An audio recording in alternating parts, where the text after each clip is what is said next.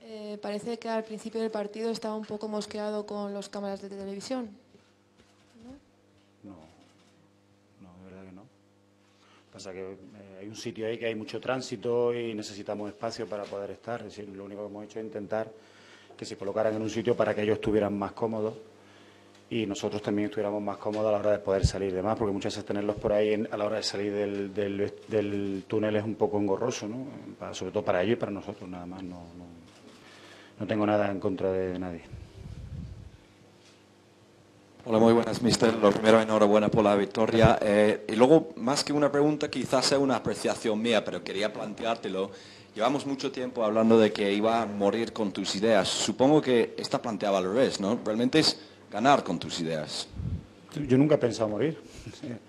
Sí, es una expresión que se suele utilizar, pero en mi planteamiento nunca está morir con mis ideas. Yo lo que quiero es ganar con ellas, ¿no? Y disfrutar con ellas y hacer lo que me gusta. Y entiendo que a todo el mundo no le puede gustar, ¿no? Esto sería muy aburrido. Pero lo que sí está claro es que yo me dedico a una cosa y, y- y yo soy el que tiene que dar un paso adelante y mostrar el camino que quiero que sigan mis jugadores, ¿no? Entonces, lo que no puedo estar es cambiando de camino cada, cada dos por tres, o hoy un camino, mañana si las cosas salen bien otro, si no salen bien, no, no. Yo creo que esto hay que ser consecuente ¿eh? y en eso hay modificaciones y hay tránsito y hay cambios y hay, y hay, y hay permutas en las que bueno, se pueden hacer las cosas de distintas maneras, pero está claro que yo nunca jamás he pensado, ni estoy, ningún- no me dedico a esto para, para morir, ¿no? Estoy esto para vivir y para disfrutar. No sé, con los perrinches que me llevo, no sé si tardaré mucho, pero mientras, mientras dure, quiero disfrutar y quiero sacarle el máximo jugo a, mi profesión y a lo que hago, ¿no? Y la forma en la que se lo saco es haciendo esto, de otra forma no lo haría. Hola, Papo. Eh, yo quería que nos contaras cómo estaba el, vestuario cuando viste terminado el partido, después de tantos días de, de derrotas, de goles en contra, de goleadas, después de ahora tres victorias consecutivas, salir del descenso, ¿cómo estaba ese vestuario por dentro? Pues no más contento que, que, que en cualquier otra ocasión que se gana un partido. Es decir, ellos sabían la trascendencia que tenía este partido, la importancia que tenía, y se ve- les veía muy contentos, ¿no? Pero eh, siempre tiene que haber alguien que haga la fiesta, y ese soy yo. ¿no? Tenemos 29 puntos, con eso no nos llega para nada. Estamos en muy, buena, muy buen camino, en muy buena senda. ¿eh? Estamos en disposición de hacer algo que solo hacen los equipos grandes, que es ganar cuatro partidos consecutivos, que eso está al alcance de muy pocos equipos, y yo quiero hacerlo. Y entonces, bueno, pues eh, más allá de esa alegría, que yo también estoy contento, por supuesto, pero ya estoy pensando en lo que nos va a esperar el, sábado. Y, sobre todo pensar que con lo que hemos hecho hasta ahora no nos va a llegar. ¿no? Es verdad que hemos dado un, paso importantísimo, es verdad que, llevamos una dinámica que, bueno, que salvando la distancia empieza a parecerse un poco a lo que, a lo que teníamos el año pasado, ¿no? ¿Eh? Y, y eso es lo que tenemos que madurar, pero eh, lo mismo que no hemos cometido el error eh, que comenté durante la semana de, creer que el Almería iba a ser más fácil que cualquier otro equipo, esa es la idea que tenemos que tener en Valladolid, porque en Valladolid sí que el partido tiene exactamente la misma importancia que este o más. Hasta que no nos pongamos en una situación mucho más tranquila, los partidos no dejarán de tener esa importancia. Entonces, más allá de la alegría que, eh, que, que tienen y que se la han ganado y que, es bueno que la tengan, siempre hay que poner unas notas de, tranquilidad y de cordura para sobre todo ya empezar a pensar en el, sábado que viene y en el Valladolid. Le quería preguntar por el tercer gol, que no lo ha celebrado y además ha tenido unas palabras con Galvez. Quería saber qué es lo que ha pasado, por qué no lo ha celebrado y qué le ha dicho a Galvez. Lo he celebrado por dentro.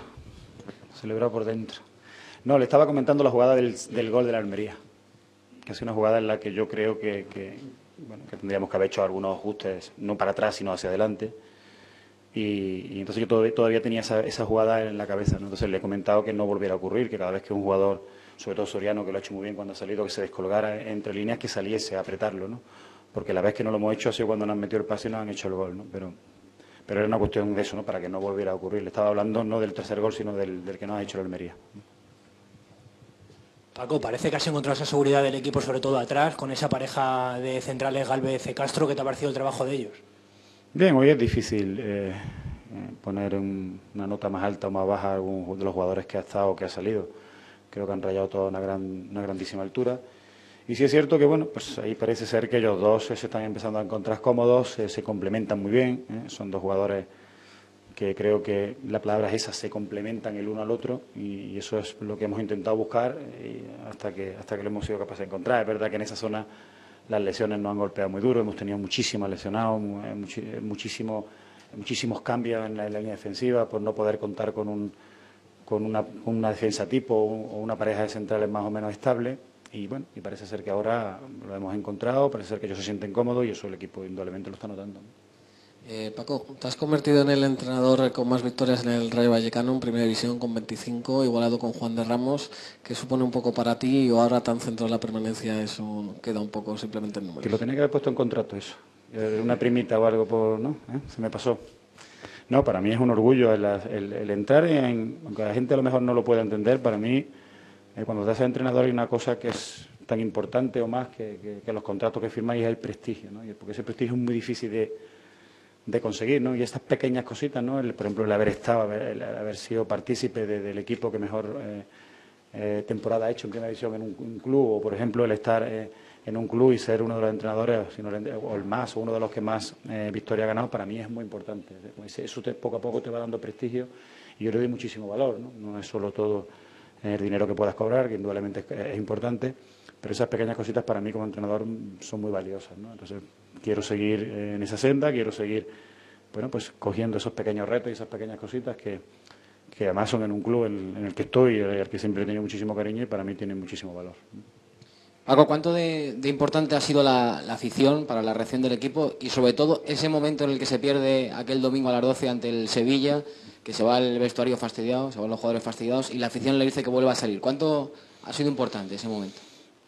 No sé, en tantos por ciento no lo sé, pero lo que sí tengo muy claro es que eh, una de las razones por las que mm, nosotros tenemos que hacer todo lo posible porque este equipo eh, permanezca en primera división es por ellos, porque ellos no lo han demostrado. Lo dije un día aquí y, creo que, lo definí, por lo menos desde mi punto de vista, bastante bien. ¿no? Eh, esto dan, sin esperar nada a cambio. Y cuando alguien te da sin esperar nada a cambio, te viene ganado para toda la vida, ¿no? Y ellos a nosotros nos han ganado, nos han ganado sobre todo en ese día, pero no ese día, sino cualquier día que pasan por los entrenamientos, cualquier día que los ves, o solo tienen palabra de ánimo. Cuanto peor vas, más ánimo te dan. Entonces, bueno, una de las razones por las que nosotros queremos hacer las cosas bien precisamente es por ellos, ¿no? Porque ellos nos han demostrado que en los malos momentos han estado en la nuestra, nos han apoyado. Y entonces, bueno, pues yo verlos ahora que disfruten y verlos que se lo pasen bien y que, vean que, y disfruten con el equipo, cómo juega y cómo gana, para mí es posiblemente la mayor satisfacción que me pueda llevar. No, no conseguir la permanencia, o para mí es eso. Yo, siempre, como entrenador, he tenido la, idea de que nosotros hacemos algo para que la gente disfrute. Y si no disfruta, lo nuestro no tiene sentido ninguno. ¿no? Entonces yo cuando ellos disfrutan me siento totalmente lleno y, realizado y orgulloso de lo que hago.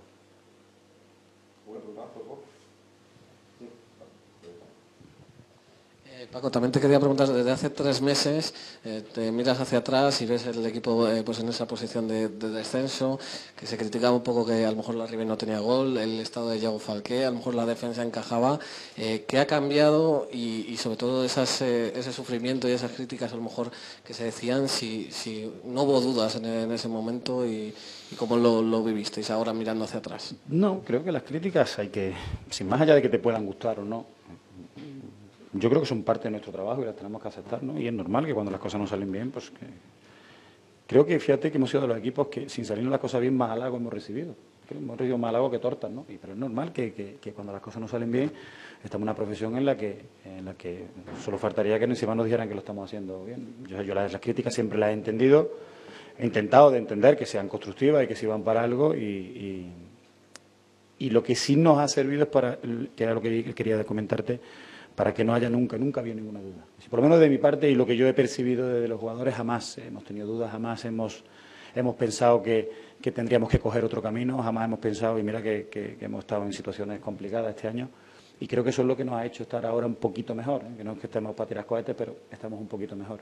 Seguramente si hubiéramos dudado, seguramente si no hubiéramos creído y, hubiéramos tirado por otro sitio, ahora no estaríamos en esta situación. Por lo menos eso es lo que yo pienso. Venga, muchas gracias.